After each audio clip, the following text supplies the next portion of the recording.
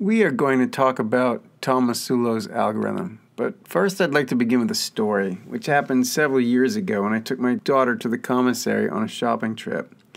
Now, if you've ever been to the commissary, you've probably seen those lines that snake around the front of the registers as if paying for groceries were a ride at Disney World. But on this particular day, not only did the line zigzag in front of the registers as usual, but it also ran all the way to the corner of the store, then down the aisle toward the back, and even all the way along the refrigerated meats in the back of the store. Now, my first thought was to simply leave. I thought no groceries were going to be worth a wait like that. However, my daughter was just getting to the age when she was old enough to push a shopping cart, so I had an idea. I took my daughter to the back of the line and told her to be very careful not to hit the woman in front of her.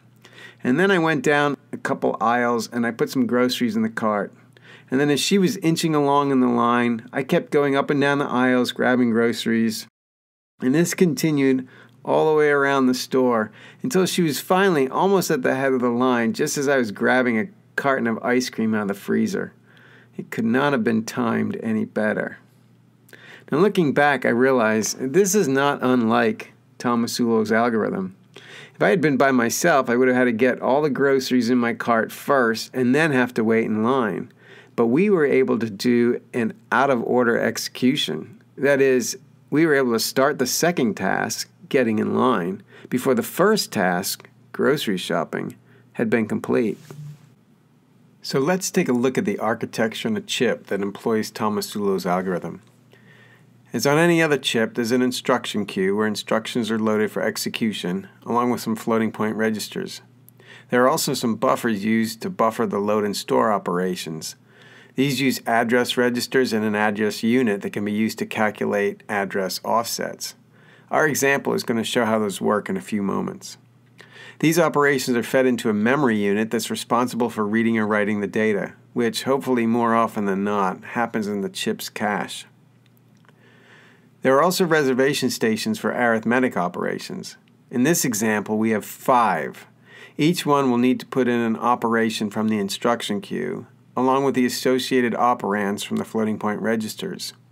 Once everything is needed for the operation to occur is in the reservation station, that goes into an ALU.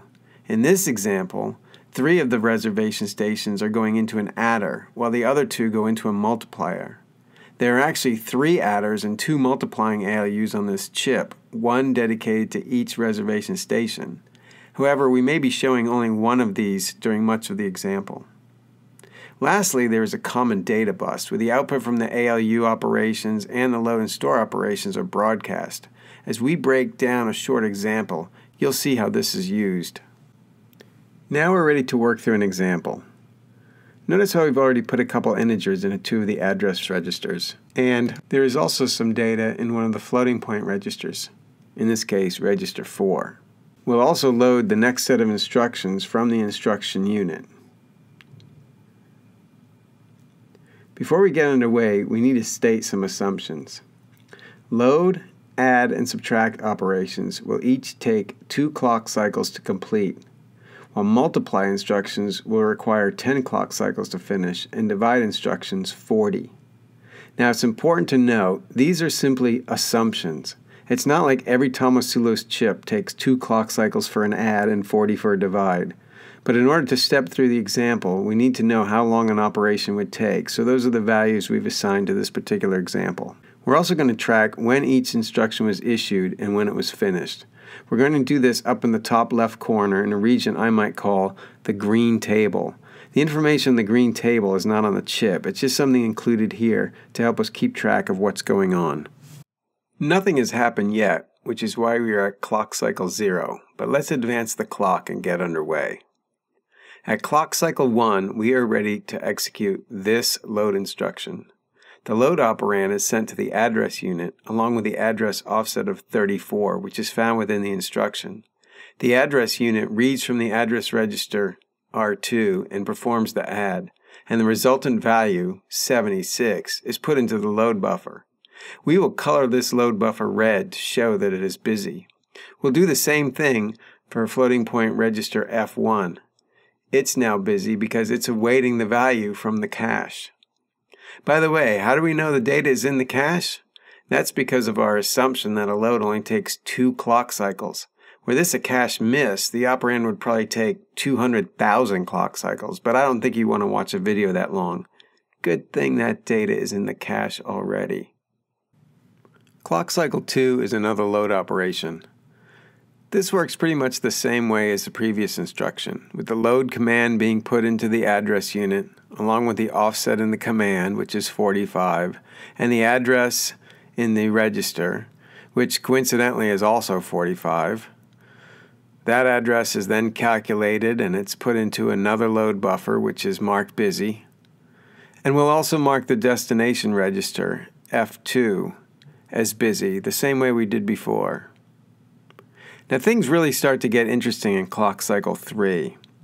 Sure, we're about to issue the multiply command, but first it's worth pointing out that it's been two clock cycles since that first load command was issued, so that's about to finish up.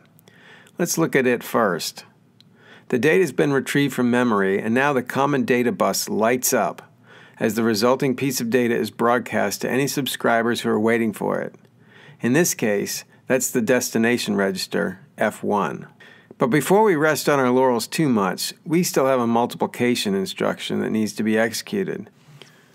So first the operation comes down the operations bus to one of the multiplication reservation stations, which, if you've noticed, has been marked as busy. The first operand, coming from F4, is ready to load. It's been ready since the beginning of this example. However, the second operand, F2, is not yet ready because the register is still in a busy state. And that's exactly what we would expect to happen. We can't multiply by a number that hasn't been loaded yet. But it's worth noting that we're able to start making progress on this command even before the previous command was finished. Remember, that's the essence of the algorithm. In any case, we are going to use this load F2 notation to represent the fact that this command won't be ready to execute until the value is retrieved from memory. And the one other thing we'll need to do here is make sure the destination register, F3, is also marked busy. Now let me back up just one clock cycle and emphasize an, an important point. Everything that occurs in clock cycle 3 happens more concurrently than I've depicted it here. So far, I've been showing this as a series of events the completion of the load, the fetching of the next instruction, the filling of the reservation station. I've been showing this as if it's done serially. But in fact, a lot of this is happening all at once, so it would really look more like this. However, when I depict it that way, it's a lot harder to follow everything that's going on. So we're going to press forward by dissecting things a little bit more piece by piece, the way we have been. So now let's advance to clock cycle 4. Remember that second load instruction that was issued in clock cycle 2? Well, it's had enough time to fetch the value from the cache, and that value is now ready to be put into register F2. However, something else very interesting is going on here. That value is not only being written to the register because the register is not the only subscriber to the information. We need this same value as an operand in the reservation station. And this illustrates the advantage of the common data bus. We won't need to wait one additional clock cycle for the operand to move from the register into the reservation station. The reservation station can get this value directly from the memory unit via the common data bus. So let's put it in there. But this isn't the only thing happening in clock cycle 4. We also have a subtraction command to take care of. This will work much like the multiply operation did, with the operand coming down the operand bus, although this time we're using one of the three adding reservation stations.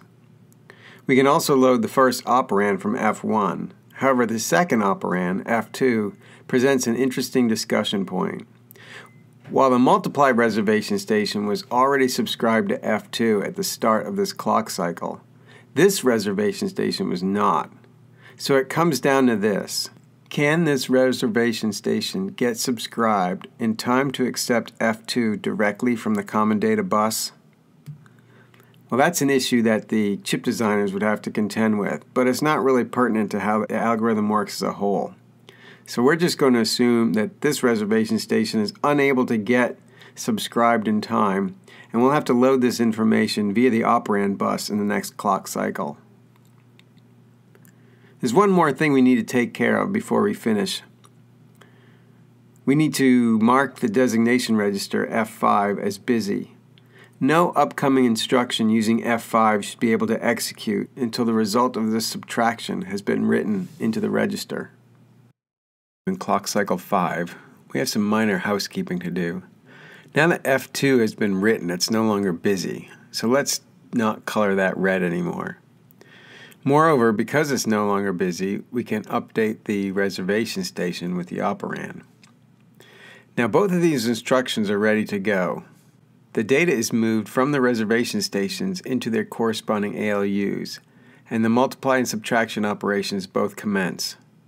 Let's add a column in the green table showing when these operations got started. We were already tracking when they were issued.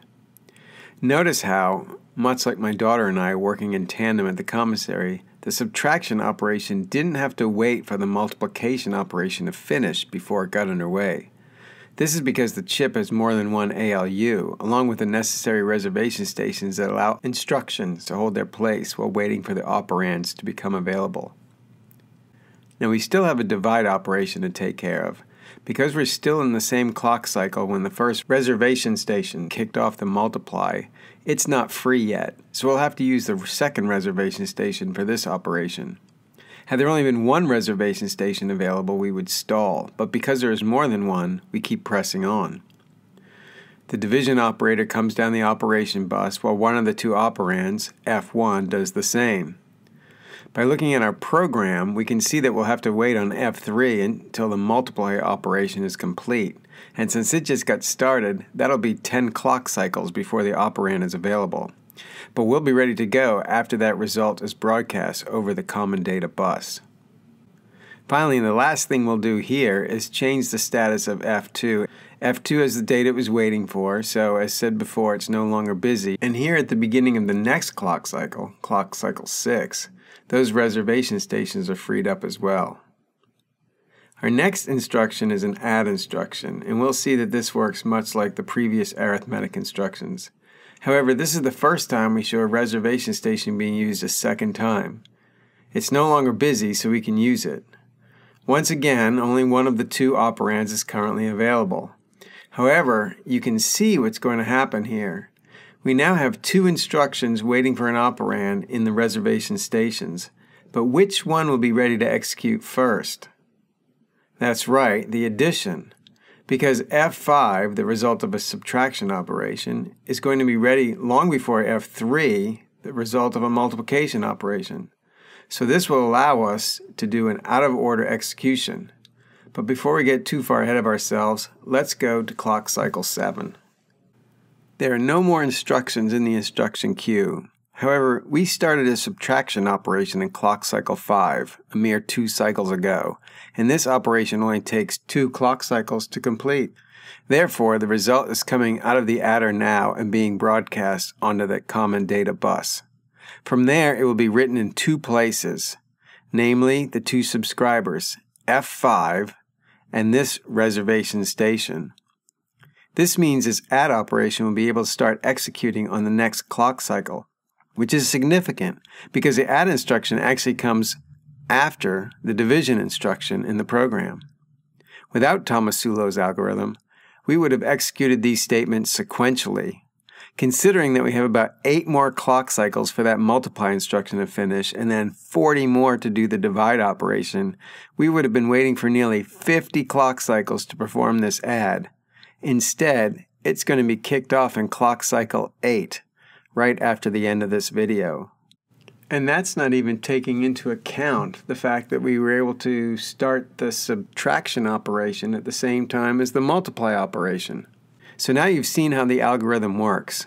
It's not unlike having someone get in line for you at the store while you're picking up shampoo, tomato soup, paper towels, and whatever other items you'll need for the week.